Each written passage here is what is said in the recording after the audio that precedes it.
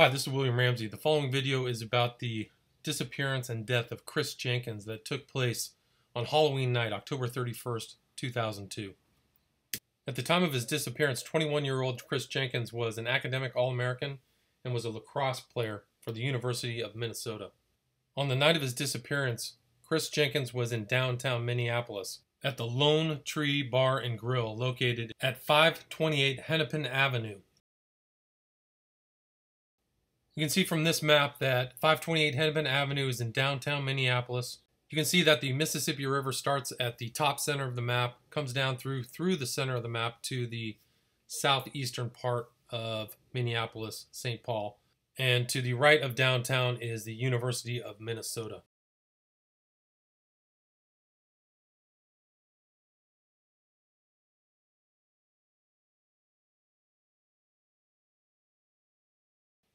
Note in this map from the downtown area that there are a number of bridges that cross the Mississippi River traveling northeast towards the University of Minnesota. One is the Hennepin Avenue Bridge. Another is also known as the Third Avenue Bridge. And there are a number of islands in this part of the downtown area. These bridges and islands will be referenced later on in this video. As I stated earlier, Chris Jenkins disappeared on Halloween night, October 31st, 2002, from the Lone Tree Bar and Grill in downtown Minneapolis. The Lone Tree Bar and Grill is located at the bottom of a Masonic temple in downtown Minneapolis. On the night of his disappearance, Chris Jenkins was wearing a full body Native American Indian outfit. This can be seen here. At half past midnight, a bouncer thought Chris Jenkins had urinated on himself and kicked him out of the bar, out into the freezing cold with no wallet, no keys, and no phone. Chris Jenkins was never seen again. After Chris Jenkins disappeared, Minneapolis police did very little to find him. The Jenkins family undertook an investigation of their own. The Jenkins family also decided to hire a private detective, Chuck Loesch. My name is Chuck Loesch. I'm a private detective licensed in the state of Minnesota. On November 2nd, 2002, it was a Saturday morning, I received a call. My initial reaction was that this is a very tight, solid moral family that his missing for this relatively short period of time was egregious. Jan Jenkins, she had the look of hope in her eyes, but the deeper look into her eyes was the worst that had taken place. And I drove down into the vicinity of the Lone Tree Bar, which was located on 6th and Hennepin. We observed a husky guy standing on the sidewalk directing foot traffic, which we assumed was a uh, bouncer. He was the last person to see Chris alive that was an employee of the bar. He stated that Chris was escorted out of the bar by one of the security managers. He also informed us that he was told, don't let the white guy dressed like an Indian back in the bar. His girlfriend was downstairs, and Chris was upstairs sitting at a bar stool, and he had a drink in his hand.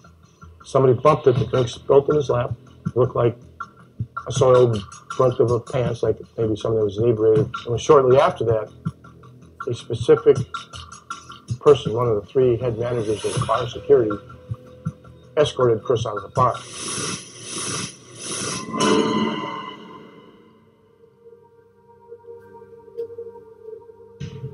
I went to Hennepin County Medical Center, went to ambulance dispatch, tried to find out if Chris or anyone looking similar to him had been picked up that night. I looked at the records and found out there's no John Doe or Chris Jenkins have been in detox. Found out there's no John Doe or Chris Jenkins in custody at the morgue. And we started figuring out that this is highly suspect. Cops didn't know where he was at. So the second day, it was more canvassing of area. We got more specific. I was going up and down Hennepin Avenue, going to, I'd go literally to every every building looking for security cameras. I'd interview people. I looked at security footage. There's always a gut feeling, and uh, when my gut tells me there's something wrong, and if I don't go by the feeling, I take a beating for it. Uh, the gut knows, your, your sixth sense, if you want to call it that, always knows. But uh, we're not dealing in a sixth sense world, we're dealing in a world of facts. So you got to make the two match up.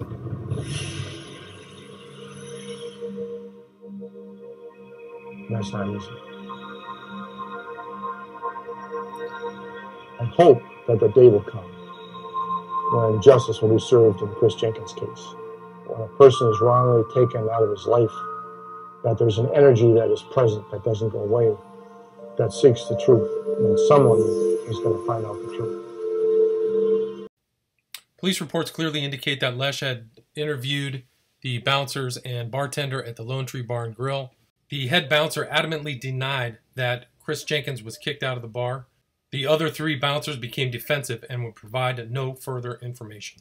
The Jenkins family tracked down surveillance footage from the Hennepin Avenue Bridge overlooking the Mississippi River. The Jenkins family does not believe Chris Jenkins made it over the bridge. November 7th, 2002. The Jenkins family takes the initiative and hires two bloodhounds to trace the scent of Chris Jenkins. The canine units hired by the Jenkins family detect traces of Chris Jenkins' scent at a parking garage near the Lone Tree Bar and Grill and by the Mississippi River at Nicollet Island. November 8, 2002. In addition to the canine searches, police officers search Nicollet Island near the Horseshoe Dam in the general Mississippi River area, including under the 3rd Avenue Bridge. The same area was researched by police November 11, 2002. And that November 11th search is clearly detailed in police reports.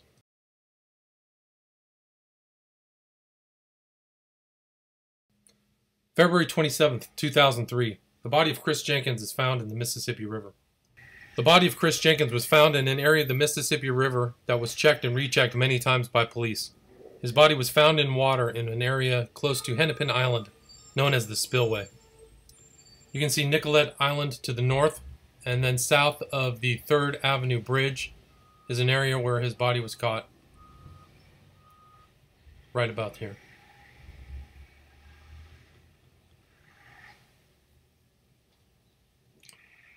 Chris Jenkins was recovered 118 days after his disappearance. At the time of his disappearance, the Mississippi River was iced over. Considering the four month time frame between his disappearance and discovery, his body was in relatively good shape. The body of Chris Jenkins was in an unusual position. He was recovered floating face up in the Mississippi River. Typically, drowning victims float in a prone position or face down. The Minneapolis police labeled the death of Chris Jenkins as an accidental drowning. Investigators Christy Peel and Chuck Loesch discussed the Jenkins case.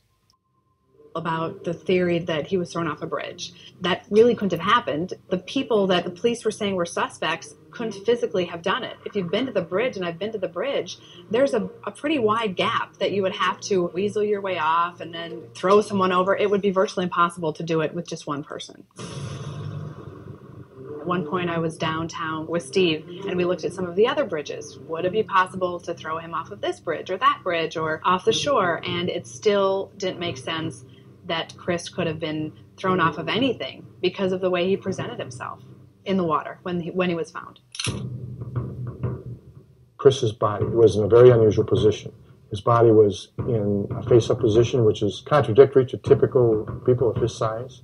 There's a block of ice in his upper body. His legs were void of ice dangling below the surface of the water, which indicates that he was probably placed someplace exterior of the river, perhaps on the side of the river. Also, his hands were crossed and clenched uh, on his lower thorax or below the chest level, which almost looked like they had been posed once I listened to what they were saying as motive and that he was thrown off a bridge, I exploded inside. I, I went ballistic. This didn't happen this way.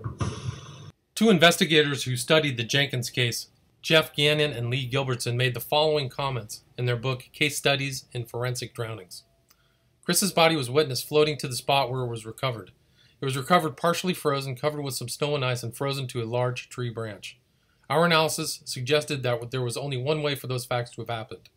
We propose that his body floated rather than sank, since he was already deceased when his killers slid him into the water on his back. This was done at a spot along the riverbank that presented an easy approach on foot while carrying a body. His body floated a short distance along the bank of the river before it became hung up on a tree branch just below the surface, whereon the river refroze. Chris was encased in the ice until the river thawed on February 27th. On that day, both he and the branch floated down to the eventual body recovery. The evidence suggested to us that Chris's arms were posed and that he was placed into the water on his back after death, with the intent that he would be found in that ghoulish position and posture. A team of drowning experts checked the river currents in the spot where I was found and concluded that my body likely entered the water more than a mile away from the bridge. In the process of my looking at the river flows, it took me into the U of M river lab. And inside the river lab, they have expert scientists, engineers, that their specific job role is to gather information about the river. They keep very accurate records of river flow, precipitation, weather, ice buildup, a number of different things that go into what's called uh, river modeling. And in talking to the head hydrologist, I came away with his theory. Chris didn't come from the downtown area. It just didn't happen. Body came to rest at the Horseshoe Dam, there was a very large tree that, after interviews with horticulturists, who stated that tree that Chris was rested up against was not indigenous to the downtown area. The fact that that tree was there and Chris's body was there, one could reasonably assume that the tree and Chris's body flowed from some area in a very similar current in the river. The autopsy of Chris Jenkins indicated that he had GHB, a date rape drug, in his system, found in a liver sample. From case studies in forensic drownings by Gannon and Gilbertson, we believe from the evidence that we have uncovered that Chris Jenkins was definitely murdered.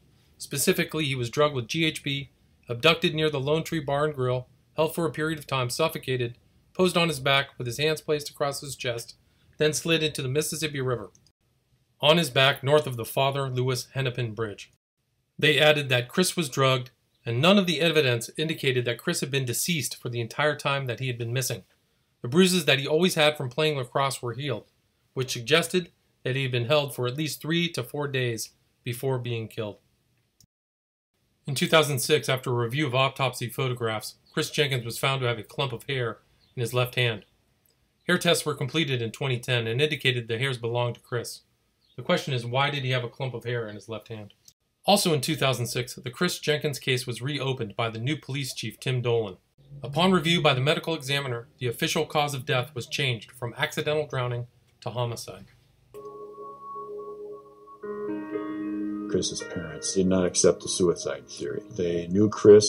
Chris was a happy individual. He had lots of friends. He was not somebody that suffered from depression. They felt very strongly that this just wasn't like Chris.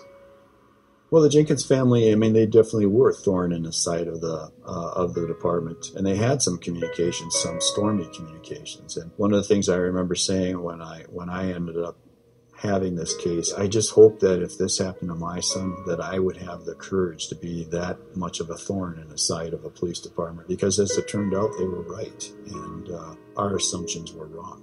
In the Chris Jenkins case, we did make a mistake. I want to apologize to the Jenkins family. Thank you. A hard lesson to learn, but when you make a mistake, I think the, the biggest thing that you can do as, as an agency or as police department, as a chief, admit that mistake and then try to make it right. Chris Jenkins' case will be open.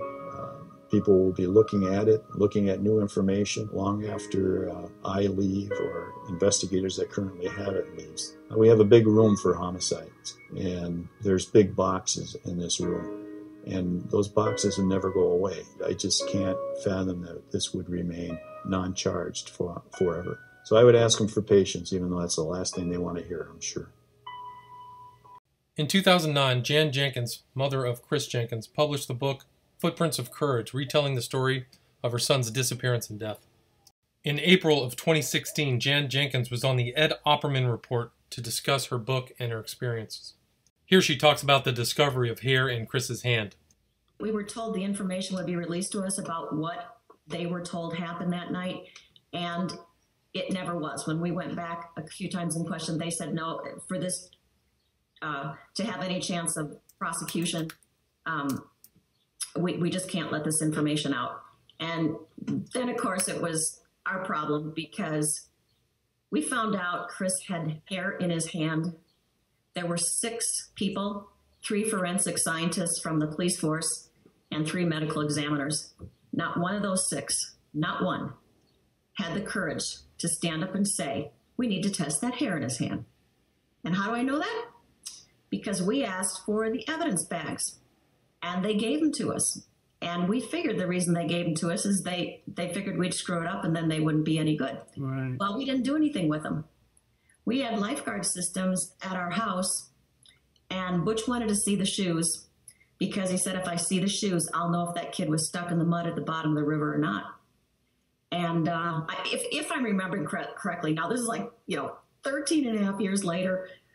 Um, and these details I really try and throw out of my mind to survive. But um, so he wanted he wanted to look at the shoes, and when my husband went down to open up the bin we put him in, there was an envelope there, and it said hair in left hand. No, actually, it was a neighbor. Sorry, it was a neighbor that used to teach forensics who wanted to look at some of this stuff. And he says, "My," he looked at the autopsy photos, and he called us one day and he said, "My God, do you guys know that there was hair in Chris's hand?" And that was another one of those. Are you kidding me now? In the next clip, Jan Jenkins describes uh, other cases that are very similar to what happened to her son, and she provides some astonishing information. Welcome back to the Opperman Report. I'm your host, Private Investigator Ed Opperman. We're here with Jan Jenkins, author of Footprints of Courage. Once again, you can find her at legacyofcourage.com. She's the mother of uh, Chris Jenkins, who was murdered under very, very suspicious circumstances. Now, Jan, I know we don't have a lot of time, so I want to ask you real quick. This witness in prison, do you know his name? Yes, Okay. What is he in prison for? he committed heinous murders after Chris Okay, what, he, he committed other murders, and did he plead guilty to those murders, or did he go to trial on those murders? I believe they went to trial, but he's in for life, which you know can be reduced, as we all know, to it's not really life. Right. Now, have you ever tried to contact him? No, Has anybody tried to talk to him? Yes, yes. I, I know that the sergeant has talked to him a number of times. I know that the retired NYPD did.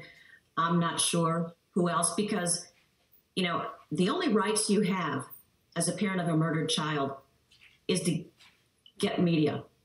Um, when you're in prison, you have all sorts of rights. If he doesn't want to talk to you or see you, he doesn't have to. But have you tried writing him a letter?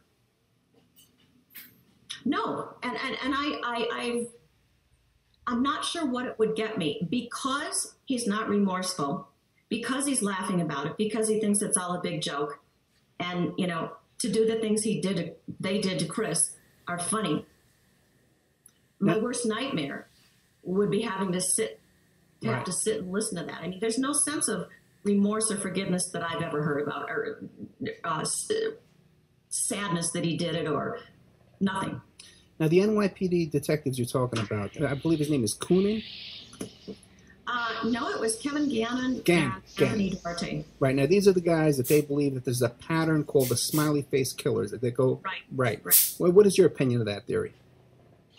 Oh, there's something going on, all right. You can, and they worked with Dr. Gilbertson, who's a professor of criminology at St. Cloud, Minnesota. You cannot have hundreds of young men disappearing, showing up in water, the profile about the same age. A lot of them look about the same size. Um, they're athletes. They're, you know, honors students. Where's all the kids that don't fit that profile? So I would not say to you that these are all homicides. I'm certain there are some accidents. I'm certain there are some suicides. But we actually had Chris's brother in law, FBI, take this set of circumstances a couple years afterwards and run it through their software program. And he came back and he said, statistically, this can't work. Well, duh. Do you think there's any significance that this happened on Halloween night? Yes. Um, the whole smiley face thing, I, I'm not, you know, there's there's a lot of creepy gangs doing a lot of creepy things, but smiley faces were left at a lot of the sites and, you know, evidence of like satanic rituals. So, um, yeah, I think there's a lot to it. And it's not just Halloween night. Uh, a lot of these happen around holidays, including Christian holidays. Was A there lot, of, a lot of these young men had Christian names. was there a uh, smiley face at the scene of? Uh, well, we don't really know where the body went into the the river. Right. Um, as far as where the body was, no one will tell us. My husband and I suspect there absolutely was. Just by the looks on faces when we've asked, and they wouldn't tell us. We just picked up on the nonverbals. We think it probably was. What you think? What was it? There was a That- smiley. that there was probably um, a smiley face. Okay. Chris was just fun. I mean, he was fun to be with. He did silly things. You kind of never knew what he was going to do next. Kind of the jokester, impish in a way.